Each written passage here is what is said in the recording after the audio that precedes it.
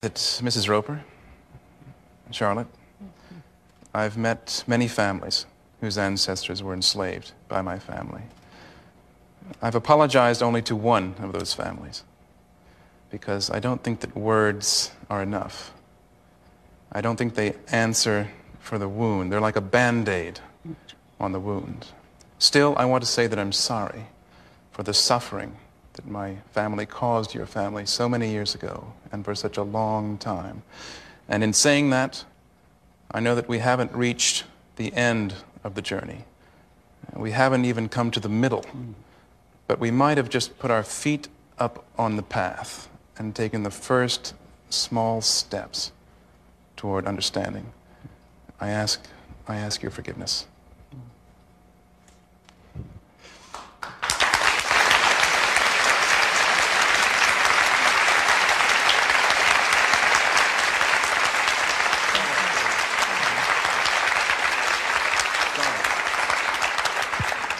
So, Charlotte, what does it mean to you to have um, this apology? It's overwhelming. It's deep within. I'm full. I, I live with racism every day. To hear that doesn't I wash it away, but it says that someone recognizes what we go through when we walk out our doors.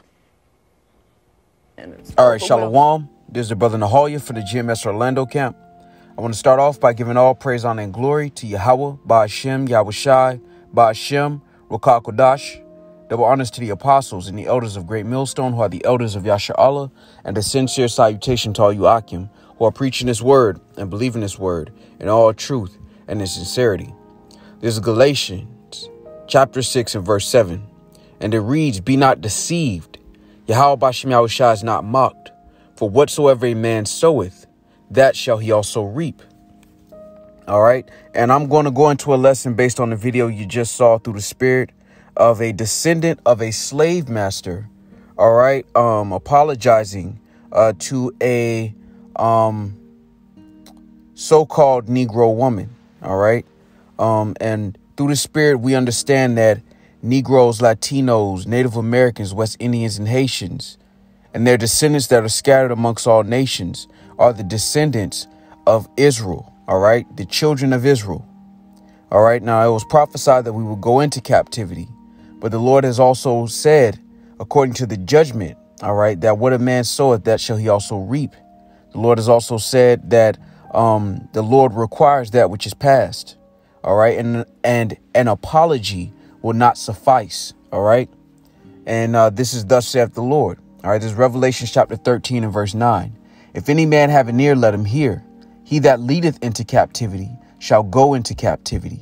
He that killeth with the sword must be killed with the sword. Here is the patience and the faith of the saints. All right. The judgment has been written through the spirit and power of Yahweh by Shemal Shai concerning Esau, Edom. All right. The Lord said that they will not be acquitted. All right. They will find, they have found no place of repentance. All right. And through the spirit and of Yahweh by Shemal Shai, there will be no place of repentance for the nation of Esau, Edom. All right. Which is the so called white man as he is known today. All right. Now let me grab this as well for edification uh, sake in Hebrews. This is Hebrews 12 and 16. And it reads, Lest there be any fornicator or profane person as Esau, who for one morsel of meat sold his birthright. For ye know how that afterward, when he would have inherited the blessing, he was rejected, for he found no place of repentance, though he sought it carefully with tears. And what you have in these last days um, are Edomites, all right, who are trying to allow a apology to replace actual justice. And what do I mean by that through the spirit? Um, is when you look at the court system of Esau Edom, if a man murdered someone, right? If a man kidnapped someone, man or woman, if they go to the court and they're guilty of the crime, an apology does not um, get rid of the sentence against that evil work. They still, even if they're repentant of the uh, crime, they still have to face the punishment for the crime. Now, the reason this descendant of a slave owner could shake the hand of that so called Negro woman is because they have the wealth. An apology is free, it costs you nothing. And that's why the Lord said he's not mocked. Because a lot of our people, because they have a Stockholm syndrome, which is a sympathy with their oppressors and their victimizers, all right, what they have done is they have they want to be accepted by their um, oppressors so much that they're willing to accept an apology instead of true justice. But the scriptures say the Lord is not a respecter of persons. And concerning Esau Edom, the Lord said there is no place of repentance, though they sought it carefully with tears. All right. And when you look at this descendant of a slave owner, he didn't even give them the dignity of, of giving them tears in this makeshift apology. All right. And that's why through the spirit and power of Yahweh Shemal Shah, we are comforted by the words of the Lord, man. All right. Matter of fact, let's go to this. All right. This is Ecclesiastes 41 and 7. The children will complain of an ungodly father because they shall be reproached for his sake. And that's why they can make the complaint, but what they will not do is transfer the wealth. They will not transfer the wealth. All right. And that's why uh, the Lord is the most high judge. That's why the Lord is the one that executes equity between man uh, between man and man and nation and nation. All right, by what? By allowing uh, what this world knows as karma, which is really judgment, to play out in the earth. And how is that judgment playing out in the earth through the Spirit? The Lord is beginning to bring down the kingdom of Esau, Edom. And an apology will not suffice the Lord, man. All right? As a matter of fact, let's go to this. There's Ecclesiastes 3 and I'm going to jump down to verse 16. No, I'll start at uh 15. That which hath been is now, and that which is to be hath already been, and Yahweh Bashim requireth that which is past. And, a, and an apology doesn't um, stop or stay the judgment that the Lord has proclaimed against Esau Edom, which is the so called white man, as a nation of people. And that's what a lot of people forget. All right. We have borne the iniquities of our forefathers because we are our forefathers. The same thing that has happened to us being the descendants of our forefathers is going to happen to the so called white man being the descendants of their forefathers. Meaning they're going to have to reap the judgment that the Lord has proclaimed concerning their nation. All right. This is uh, Isaiah 14. And I'll start at 1. For Yahweh Shai will have mercy on Jacob, and will yet choose Israel, and set them in their own land, and the strangers shall be joined with them, and they shall cleave to the house of Jacob. And the people shall take them and bring them to their place, and the house of Israel shall possess them in the land of the Lord for servants and handmaids, and they shall take them captives, whose captives they were, and they shall rule over their oppressors. Now, when you understand this through the Spirit, this is a future prophecy. Now, if they're going to rule over their oppressors, they're not talking about George Washington per se. Meaning, we're not going to go dig up the bones of George Washington and put them in some building and say, look, we're ruling over our oppressors. No, those spirits are back on the earth today. And in Hebrews, the 12th chapter, the Lord said, there was no place of repentance found for Esau. And that's not just speaking of Esau being one person. That's him as a nation of people. Just like the children of Israel are commonly referred to in the scriptures as Jacob. Even in Isaiah 14 chapter, the Lord said he will have mercy on Jacob. He's not talking about the one individual Jacob, but the nation. The same thing is going to play out for these uh, these so-called white people, which are Edomites. And the reason I want to highlight this is because our people are so uh, thirsty or um, desirous of the validation of the nations that have afflicted them that they're willing to accept the low for acceptance of nations that hate them. And that's a symbol, that's a sign of um, low self esteem as a nation of people. That you're willing to be degraded and not receive justice just to be accepted, partially accepted. All right, this week is one of those proving points, one of those subtle reminders that the Lord gives out to allow our people to, to remind our people of the current condition we're in as a nation of people. Those who have hope in Yahweh Shemal Shai, we have comfort and joy in the spirit of the Lord because we understand that the Lord is going to avenge his saints. All right? As a matter of fact, let's go to that. And how is the Lord going to avenge his saints? He's going to render a recompense.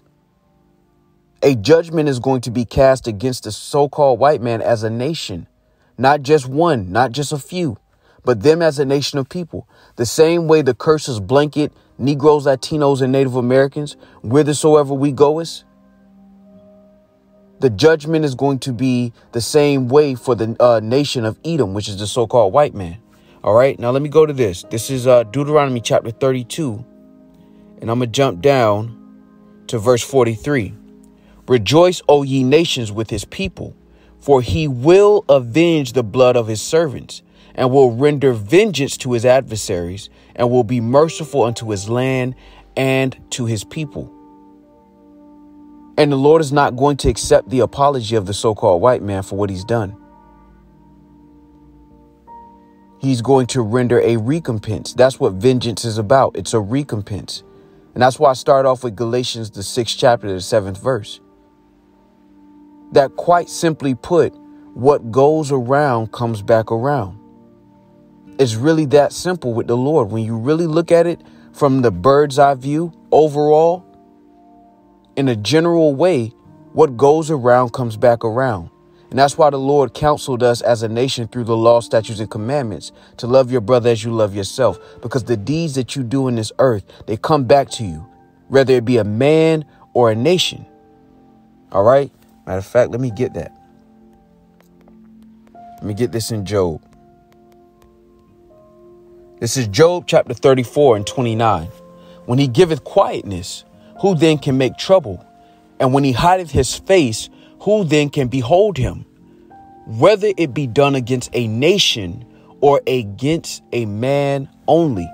So that shows you that the Lord renders recompense and judgments on men and nations. All right.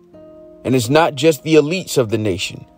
Just like you Negroes, Latinos, and Native Americans, you didn't just have a few of us as a nation uh, go into captivity. As a nation, we all are under captivity and these curses, one shape, form, or fashion. All right. And that's because when it comes to a nation, when the Lord judges a nation, he judges that nation as a whole. We enjoy the common curses of Israel. All right. But when the, uh, when the Messiah returns, beginning with the elect, beginning with the first fruits, the entire nation of Israel will enjoy the commonwealth. All right. Now, Wisdom of Solomon 18 and 13 reads, Whereas they would not, Salakia.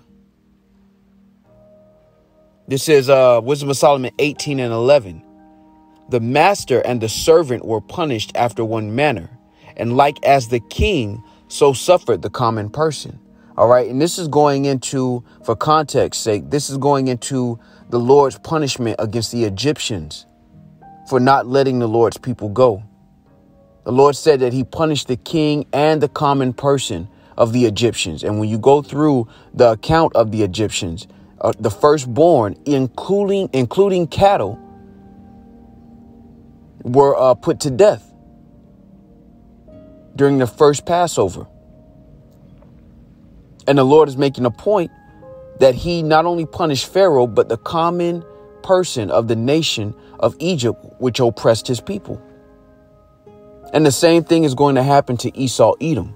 All right, and I wanted to highlight this through the Spirit uh, to bring out these points, but to also highlight um, that an apology will not be acceptable in the eyes of Yahweh Shemal Shai to sit on the stage in front of people and have people clap hands and cry tears as if an apology uh, is compensation for what has happened to us as a nation of people. That's not going to be sufficient for the Lord, man. Because as the scriptures say, the Lord is not a respecter of persons. And they whose judgment was not to drink the cup, which is us, the loved nation, the beloved nation of the Lord, as it is written, if we had to drink our cup and be punished because of our iniquity, then the same thing is going to happen to the so-called white man. And let me get that in uh let me get that. All right, I'm going to get this in uh in uh Jeremiah.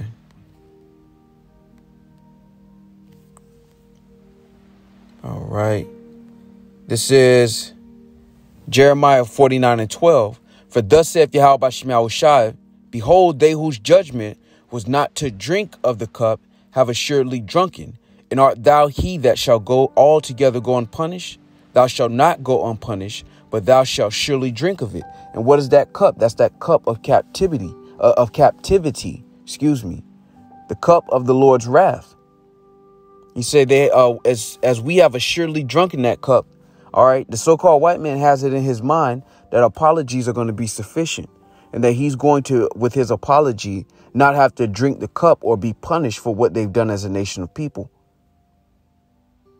And of a lot of our people who are so uh, desirous to be accepted by these other nations, even though the Lord has shown us through actions that these nations will never accept us unless we remain in a position of submission to them. But the Lord is making it very clear that they will be punished for what they've done, regardless of what the so called white man feels. And that's why I wanted to bring this out through the Spirit because it's a subtle reminder of how the so called white man feels about you Negroes, Latinos, and Native Americans and what he truly feels about justice. In his mind, as long as we acknowledge that we did something wrong to you and we apologize and shake hands with you, then it is compensation to the average Negro, Latino, or Native American when justice, when you really deal with justice and equity, it's not just apologizing. And Esau's court system shows you that. Murderers can't apologize and be acquitted of murder. Not in the so called white man society. How much more so in Yahweh Shah's society when he's made it very clear that he who leadeth into captivity shall go into captivity. All right, so Lord willing, this was edifying. I just wanted to bring this out and highlight this through the Spirit. All right. With that, I want to give all praise, honor, and glory to Yahweh, by Hashem Yahushai, by Hashem Rakakodash. Double honors to the apostles and the elders of Great Millstone, who are the elders of Yasha Allah, and a sincere salutation to all you Akim, who are preaching this word and believing this word in all truth and in sincerity. Shalom.